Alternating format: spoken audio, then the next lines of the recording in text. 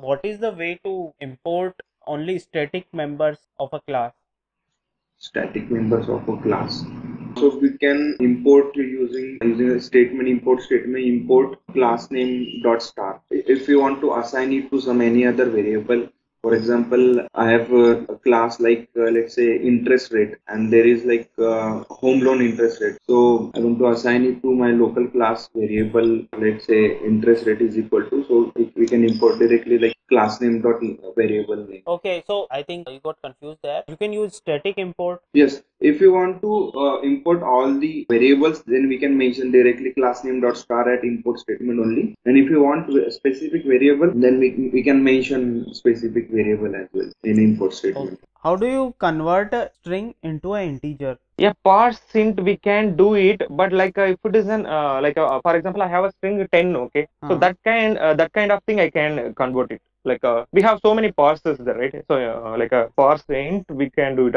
The like in the creation of conversion time itself, before that we'll give a praises we can convert it. Okay. If it is not converting, we can go with the what do you understand by if I say recursive program or recursive code? A recursive code or the recursive method or program. Uh, so it is it is mainly for the the particular functionality and uh, the particular utility we have, and from that utility we want to recursive means number of time we have to perform same operation till the particular condition occur we are executing that part. The same set of code we are uh, continuously. In recursive it is automatically called means uh, the particular condition got it is calling the same again and again till that condition is do you understand why concurrent hash map? Concurrent hash map is like for the uh, means the synchronization purpose. Suppose uh, if we wanted to modify hash map uh, while we are iterating it, so that time we can use the concurrent hash map. And the main thing is concurrent hash map is provide a lock to the particular. Suppose uh, in our map there is a 10 element, so it is providing. Suppose we are modifying particular suppose uh, first element, so only that part it is locking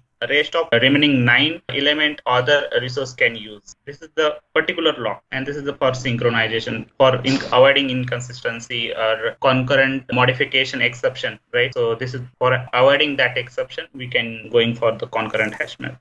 How would you detect a deadlock in a running program? Suppose a number of uh, in uh, multi-threading number of resource wanted uh, same resource and no one able to get uh, that resource. So in that case, there is a deadlock I think that is the information I have. So there are some tools like JConsole. Have you heard about that? Never used JConsole and means for detecting deadlock uh, I never use any kind of tool. It comes with JDK only. I mean, it is not externalized third party tool or anything. It comes with JDK installation. This tool used for looking at the deadlocks. There are multiple other JVisual and other tools as well, third party so, tools. It provides the insight of your project. So whatever okay. objects are created, whatever the deadlocks are happening, uh, it can provide that information to you. So what you can do by observing mm-hmm. that information, you can prevent deadlock. Can you tell me how you can implement JWT token? For that, you have to use uh, some annotation is there. Okay, you have to add a dependency in pom.xml and the configuration, enable authorization server and implement that adapter classes. You have to implement adapter classes, your main class. Suppose you want to configure something, security con- uh, configuration and that one extend web security security configuration adapter classes and there is a configure method. Okay based on that we can restrict your apis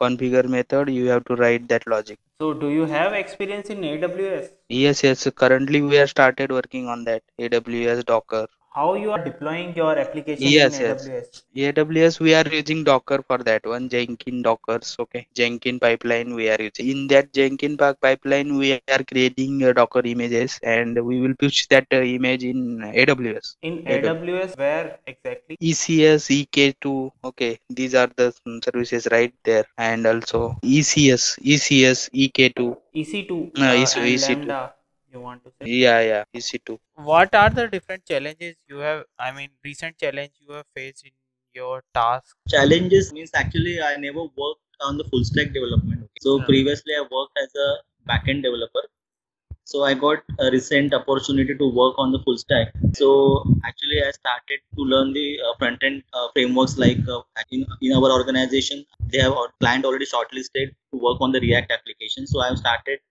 learning all the React and all by using the online mediums like Udemy and all, Coursera, etc.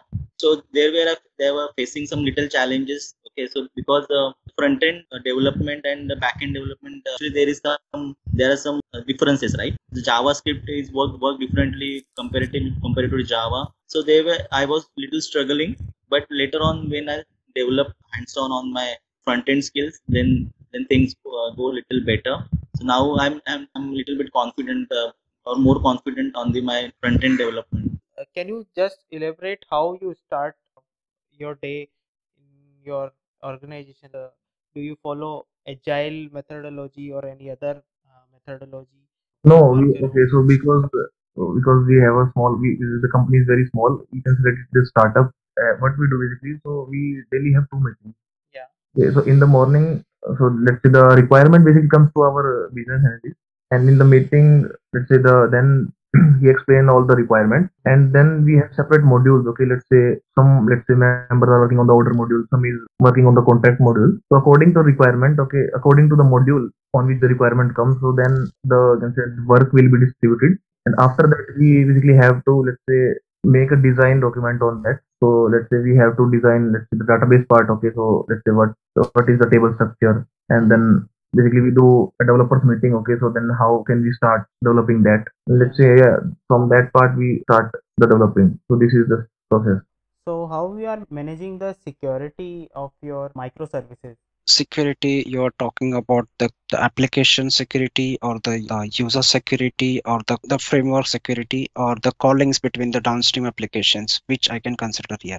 The security first i can see from the user point of view the access rules that we can putting with the spring uh, access controls Yeah, so And you must be using REST. Uh, are these services REST services or some other REST service? one. Yeah. rest service So REST services. That means uh, they are using HTTP. Okay. http that is been the local but whenever we are deploying into the higher environment that will be Yeah. comes with the https So I'm talking about the inter uh, communication between these applications. two applications you are Yeah. talking Do you know how you can create a prototype bean? we have to just mention the scope is equals to a prototype. Correct. Uh, Correct. Yeah. Uh, can you tell me what is fail fast and fail safe? uh, fail fast and fail safe. Yeah. Uh, it's rely uh, regarding the unit testing or something. No, are tell- it is related to collection. Do you know what is iterator? Yes, yes, yes. Uh, in uh, collections, uh, I know like uh, iterator. This iterator has a fail safe properties. So there are two things, fail safe and fail fast. So Sorry you haven't Yeah. heard? Okay, no Yes. problem. Okay, so suppose there are n number of threads who work on uh, m number of shared synchronized resources. I mean there are mul- multiple threads and there are multiple shared resources as well. So in this environment, how would you make sure that deadlock does not happen? if uh, one thread is accessing resource M1 and another is M2, and then if it uh, goes to acquire the M2 and second thread goes to acquire the M1, they will be in deadlock. condition. I, I, I got that. I'm just thinking, whatever I have read that and know that, I'm just thinking what would be the appropriate for that. Uh, whatever I have read, mostly they talk about the resource ordering means uh, if you acquire the M1, then and then only you could acquire the M2. Without that, you are, you will not be acquired M2. Or if there is any slight possibility also that uh, if you require the M1, acquire the M1, and M, when you are acquiring M2, you do not require the M1, release the M1 resource at least one at a time. Or if you want, uh, means uh, there could be some ordering or constraint such that uh, you want to acquire particular resource, so you uh, do not need to you should have that uh, other resources or you do not if do not then release it or you acquire the resources in that particular order only. Or you could try the lock only but try the lock uh, will also result into that. But ordering and releasing the resources that two only as of now i could think of you can use certain frameworks as well to find uh, like deadlock situation in your application have you aware about Mm. that there are some tools available uh, not uh, means, means uh, what I uh, what we have encountered and what we have checked is mostly with the thread dump, getting the threads and checking that what locks it is waiting for, what other threads are waiting for which lock. I mean, mostly I have checked with thread dumps only. Uh, not very sure with the uh, tools. I have not used any. So Okay. I'm not aware of that. Okay, fine. That's fine.